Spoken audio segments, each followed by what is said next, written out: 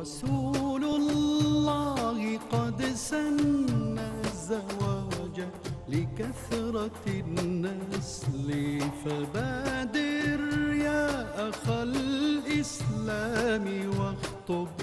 ابنة الأصل. يزين قدها دين كساها حلة الفضل وأعطى طيب مبسمها عبير المسك بالقول. فتاة قلبها سكن يضم الزوج في حل.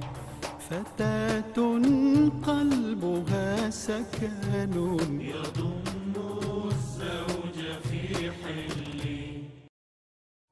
السلام عليكم ورحمة الله وبركاته. بسم الله الرحمن الرحيم الحمد لله رب العالمين وصلى الله على سيدنا محمد وعلى آله وصحبه أجمعين اللهم علمنا ما ينفعنا وانفعنا بما علمتنا وزدنا علما وعملا متقبلا يا أكرم الأكرمين أرنا الحق حقا وارزقنا اتباعه وأرنا الباطل باطلا وارزقنا اجتنابه نسألك علم الخائفين منك وخوف العالمين بك وبعد مرحبا بكم في الحلقة السادسة عشرة من الدورة التأهيلية للحياة الزوجية. كنا من بدايات هذه الحلقات أيها الإخوة نبدأ بخطوات الزواج خطوة خطوة.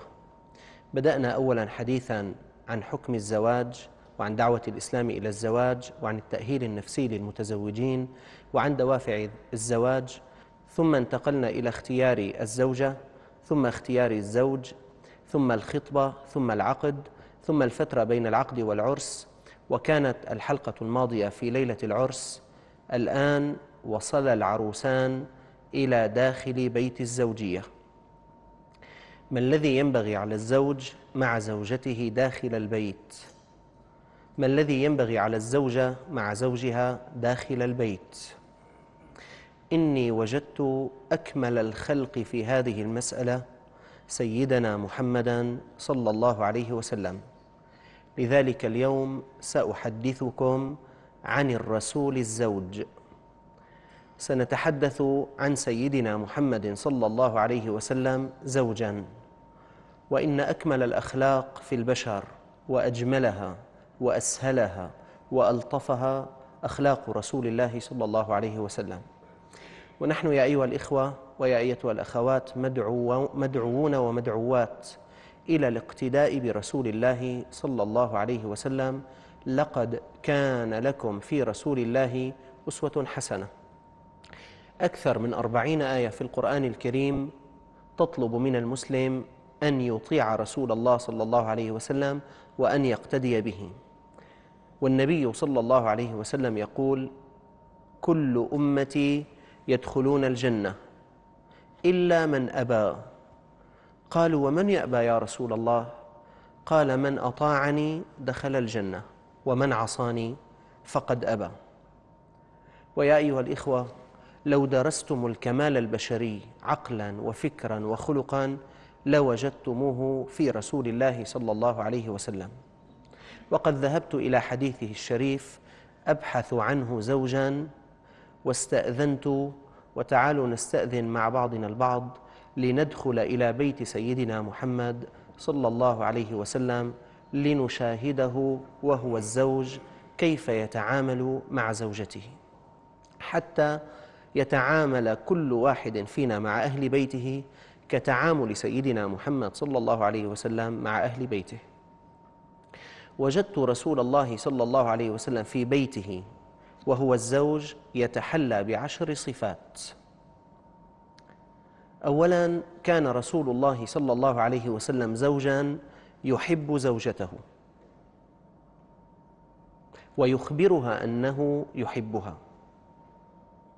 مرة أرسل رسول الله صلى الله عليه وسلم سيدنا عمرو بن العاص رضي الله عنه أميرا على جيش فوقع في خاطر عمرو أن رسول الله صلى الله عليه وسلم يحبه أكثر الناس. حتى إنه ظن أنه محبوب للنبي صلى الله عليه وسلم أكثر من أبي بكر ومن عمر ومن عثمان ومن علي ومن سائر الصحابة الكرام. فأراد عمرو بن العاص رضي الله عنه أن ينتزع هذه الشهادة التاريخية من فم النبي صلى الله عليه وسلم لتسجل له في الدنيا وفي الآخرة. خلا بالنبي صلى الله عليه وسلم عندما عاد من تلك الغزاة أو من تلك السرية وقال يا رسول الله من أحب الناس إليك؟ فقال له النبي صلى الله عليه وسلم زوجتي عائشة. النبي صلى الله عليه وسلم يقول إنه يحب عائشة وهي أحب الناس إليه. رسول الله صلى الله عليه وسلم كان زوجا يحب زوجته. وأنا أتخيل السيدة عائشة أم الكريمة عندما نما لها الخبر وتطاير إلى سمعها أن رسول الله صلى الله عليه وسلم يقول في غيبتها إن أحب الناس إليه عائشة. ماذا ستفعل هذه الزوجة مع زوجها؟ ستفديه بعينيها وبروحها وبقلبها. قال يا رسول الله فمن الرجال. أنا أريد الرجال لا أريد النساء. قال أبوها أبو بكر. النبي صلى الله عليه وسلم كان زوجا يحب زوجته. ومرة نساء النبي صلى الله عليه وسلم غرن من عائشة. فأرسلن إليه فاطمة وقلنا يا فاطمة لو حدثت أباك بابنة أبي قحافة. ففاطمة سارت باتجاه أبيها وقالت يا رسول الله إن نساءك يحدثنني في عائشة. فنظر إليها رسول الله صلى الله عليه وسلم قال يا فاطمة ألست تحبين ما أحب؟ قالت بلى يا رسول الله. قال فأحبيها فإنها حبيبة أبيك. كان رسول الله صلى الله عليه وسلم زوجا يحب زوجته. ومرة ثانية تخيل السيدة عائشة عندما يصلها هذا الخبر. كيف تتعامل هذه الزوجة مع الزوج؟ يا أيها الإخوة الحياة الزوجية في الإسلام حياة مودة حياة رحمة حياة وئام. ليست حياة حقوق وواجبات كأننا في قصر عدلي. الحقوق والواجبات تعلن أمام القضاة أمام أقواس القضاء وأمام مرافعات القضاء. أما في البيت فالقوم فالبيت قائم على المودة على الرحمة على التسامح. على الحب على أن أتنازل عن شيء مما أملك لزوجتي وأن تتنازل شيئا مما يحق لها لي حتى يسلم هذا المركب وحتى يسير هذا البيت سيرا حثيثا. النبي صلى الله عليه وسلم كان زوجا يحب زوجته بل إنه صلى الله عليه وسلم كان يدعو أمام الناس ويقول الحمد لله الذي رزقني حب عائشة. الحمد لله الذي رزقني حب عائشة. أول صفة للرسول الزوج كان رسول الله صلى الله عليه وسلم زوجا يحب زوجته. الوصف الثاني كان رسول الله صلى الله عليه وسلم زوجا يلاطف زوجته ويمازحها. وهذا خلق الإنسان المؤمن مع أهل بيته. قال النبي صلى الله عليه وسلم المؤمن كالجمل الأنف. أينما قيدا قاد؟ يذهب مع أهله للملاطفة وللمسامحة وللتحابب وللتسلية. وصعب ذلك الرجل الذي يدخل داره وزيرا ويخرج أميرا. ربما تكون وزيرا أو سفيرا أو مهندسا أو دكتورا أو عالما كبيرا خارج البيت لكنك داخل البيت أنت زوج وزوجك تنتظر هذا الزوج التي تحدثه وتمزح معه ويلاطفها ويمازحها ويلاعبها ويكون معها زوجا ودودا. حدث مرة أن النبي صلى الله عليه وسلم كان في سفر وكان من عادته صلى الله عليه وسلم إذا سافر أنه يقرع بين نسائه. القرعة يضع أسماءهن في مكان ثم تأخذ إحداهن أو يأخذ أحدهم ورقة فمن خرجت أو خرج اسمها خرجت معه في السفر. فكان السفر من نصيب عائشة. الآن رسول الله صلى الله عليه وسلم في السفر مع القافلة والصحابة الكرام ومعه زوجته عائشة. في الطريق وبينما كانت القافلة تمشي ورسول الله صلى الله عليه وسلم يسامر زوجته قال لأصحابه تقدموا أمامنا. فتقدم الصحابة أمام نبيهم محمد صلى الله عليه وسلم. قال رسول الله صلى الله عليه وسلم لعائشة يا عائشة أتسابقيني؟ ما رأيك أن أتسابق أنا وأنت؟ من الذي سيسابق من؟ هذا سيدنا محمد صلى الله عليه وسلم سيد الخلق. هذا الذي إذا نزل جبريل من السماء وقف على بابه مستأذنا. هذا الذي تتقرب إلى الله تعالى بالصلاة والسلام عليه هذا رسول الله محمد سيسابق عائشة. قال تسابقيني يا عائشة إنه زوج يتنزل إلى زوجته يسامرها يلاطفها يمازحها. وإن كان رسول الله صلى الله عليه وسلم وإن كان أكبر الكبراء وأعظم العظماء وأشرف الشرفاء وأنسب النسباء. تسابقيني؟ قالت نعم. تقول عائشة فسابقته فسبقته وكنت لم أحمل اللحم. كانت صغيرة السيدة عائشة وما زالت فتية وما زال جسمها ناعما. ورسول الله صلى الله عليه وسلم جاوز الخمسين. قالت فسابقته فسبقته قال فلما كان بعد حين وكنت معه في سفر واكتنزت اللحم. صارت عائشة بدينة نوعا ما. قال لي النبي صلى الله عليه وسلم في السفر الآخر تسابقيني يا عائشة؟ قلت نعم. قالت فسابقته فسبقني. فقال لي يا عائشة هذه بتلك. يعني واحد واحد. هكذا كان رسول الله صلى الله عليه وسلم يمازح زوجته ويلاطف زوجته بل إنه كان في بيته أفكه الناس. وتقول السيدة عائشة وقد سئلت كيف كان رسول الله صلى الله عليه وسلم في بيته؟ تقول كان ضحاكا بساما. ضحاك على وزن فعال. صيغة مبالغة من اسم الفاعل. يعني ليس ضاحك لا يضحك مرة كان ضحاكا. ليس باسم كان بساما. يحب السرور ويحب أن يدخل السرور على أهل بيته وهذا هو الزوج الذي تحبه المرأة. النبي صلى الله عليه وسلم داخل بيته كان زوجا يحب زوجته والنبي صلى الله عليه وسلم داخل بيته كان زوجا يلاطف زوجته ويمازحها. نتابع حديثا عن الرسول الزوج إن شاء الله تعالى بعد الفاصل لنرى كيف كان سيدنا محمد صلى الله عليه وسلم في البيت حتى نقتدي به. نحن الأزواج فابقوا معنا.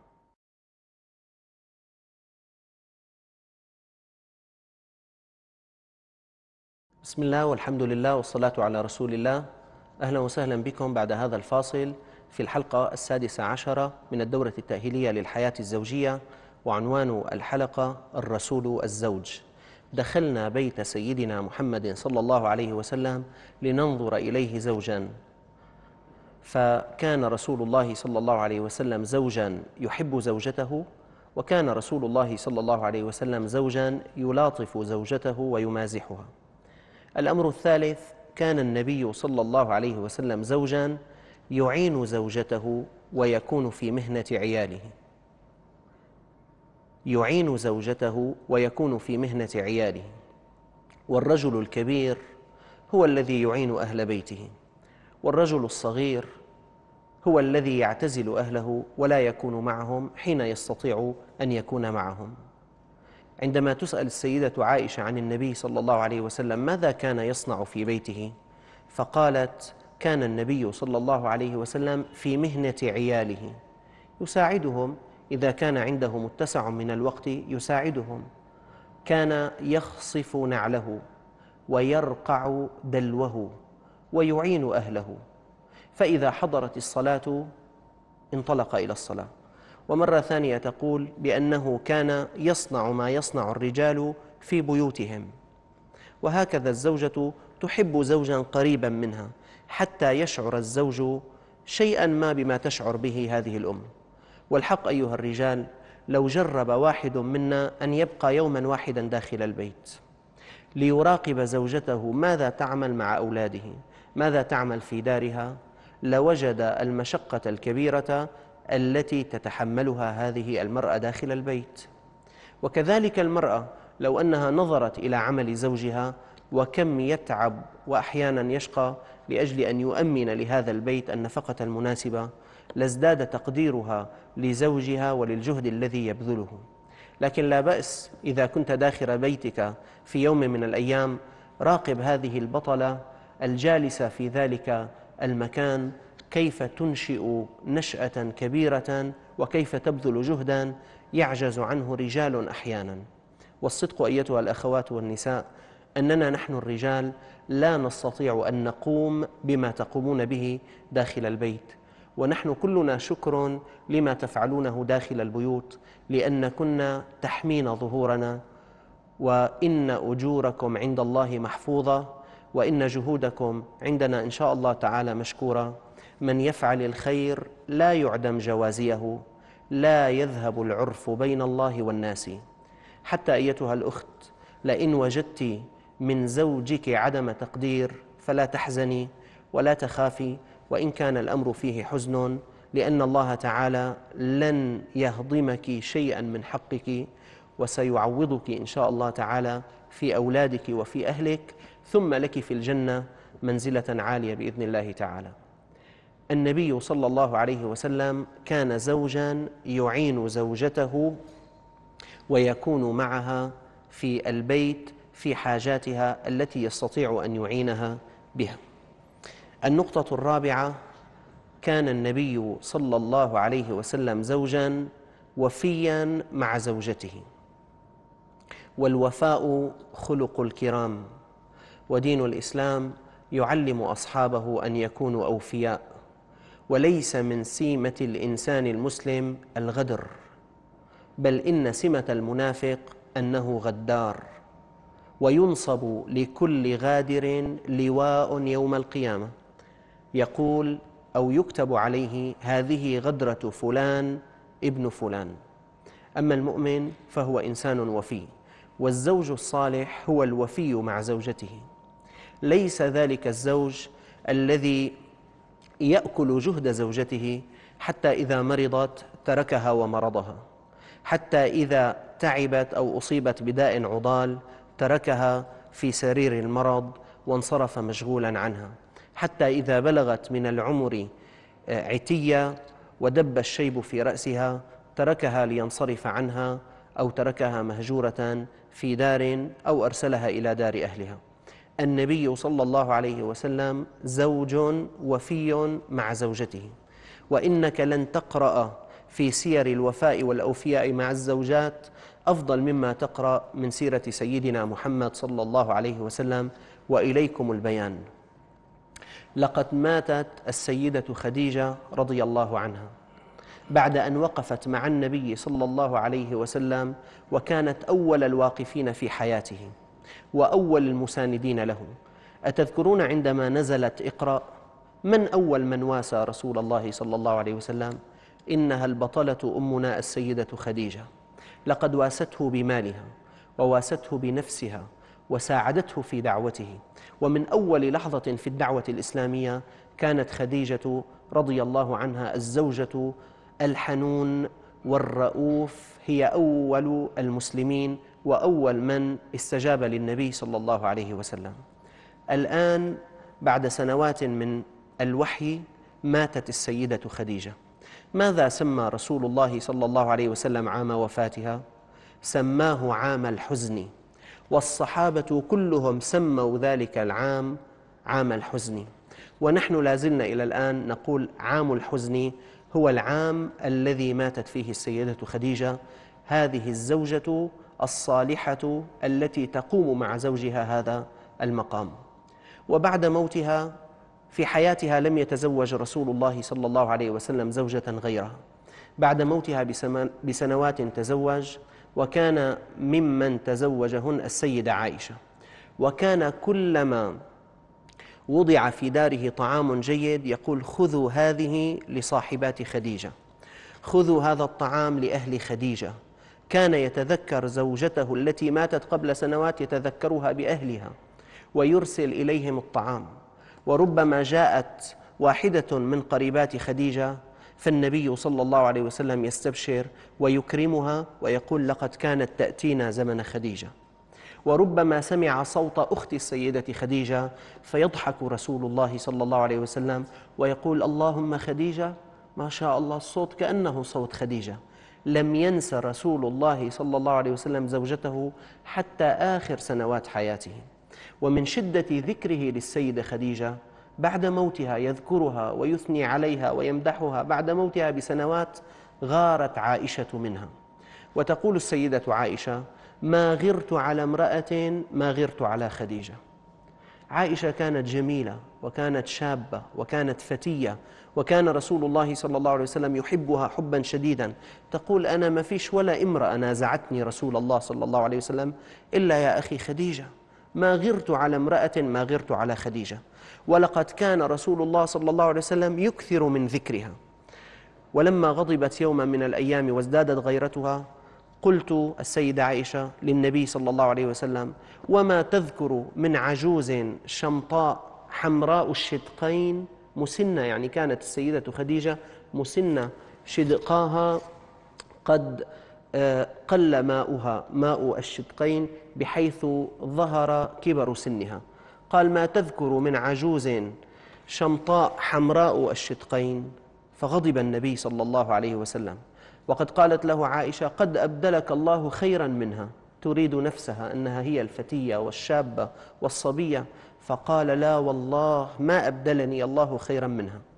لقد واستني بمالها إذ حرمني الناس وصدقتني إذ كذبني الناس وآمنت بي إذ كفر بالناس ورزقني الله منها الولد ولم أرزق من غيرها. قال بعد هذا ما كانت السيدة عائشة تتكلم في حق خديجة شيئا. النبي صلى الله عليه وسلم أيها الإخوة أيتها الأخوات كان زوجا وفيا مع زوجته. واسمعوا أيها الإخوة ما ذكره النبي صلى الله عليه وسلم في حادثة قيلت في حق السيدة صفية زوجته رضي الله عنها. مرة ذكر النبي صلى الله عليه وسلم السيدة صفية بخير أمام إحدى زوجاته الأخريات فغارت الزوجة الثانية وقالت حسبك من صفية إنها وأشارت بيدها أنها قصيرة ولم تقل كلمة قصيرة لكن أشارت بيدها في إشارة إلى أنها قصيرة وصفية الزوجة فعلا كانت قصيرة. فقال النبي صلى الله عليه وسلم إذ غضب لقد قلت كلمة وهي إشارة. لو ألقيت في بحر لو مزجت في بحر لمزجته. لم يرضى رسول الله صلى الله عليه وسلم أن يتكلم أحد بحق زوجته شيئا. لم يرضى ذلك شرعا ولم يرضاه وفاء لهذه الزوجة التي وقفت معه في مواقف الشدة كما وقفت معه في مواقف الرخاء. أما الزوج الذي يتكلم في حق زوجته في غيبتها. أما الزوج الذي إذا جلس مع أمه قال يا أمي زوجتي ليست جيدة زوجتي تفعل زوجتي تأتي. أما الزوج الذي يتكلم أمام أصحابه يقول والله أنا غير مرتاح في بيتي والله زوجتي معذبتني والله هذه زوجتي يا ريت عندي غيرها الله يجعل يوم قبل يومي يومي قبل يومه. هذا الزوج لو نما هذا الكلام إلى زوجته كيف ستتعامل معه؟ لقد فدت نساء رسول الله صلى الله عليه وسلم الرسول الكريم بالمهج لأنه صلى الله عليه وسلم كان يحب زوجته وكان النبي صلى الله عليه وسلم يلاطف زوجته وكان النبي صلى الله عليه وسلم زوجا آه، يفي لزوجته وكان وفيا مع زوجاته أيها الإخوة رسول الله صلى الله عليه وسلم داخل بيته كان زوجا يتصف بصفات عشرة كان زوجا يحب زوجته وكان زوجا يعين زوجته وكان زوجا يلاطف زوجته وكان زوجا وفيا مع زوجته. تحدثنا في هذه الحلقة عن هذه الأربعة. نتابع إن شاء الله الستة الباقية في الحلقة القادمة من الدورة التأهيلية للحياة الزوجية. نلقاكم على خير. والسلام عليكم ورحمة الله وبركاته. رسول الله قد سن الزواج لكثرة النسل فبادر يا أخ الإسلام واخطب. ابنة الأصل يزين دين كساها حلة الفضل وأعطى طيب مبسمها عبير المسك بالقول. فتاة قلبها سكن يضم الزوج في حل. فتاة قلبها سكن يضم الزوج في حل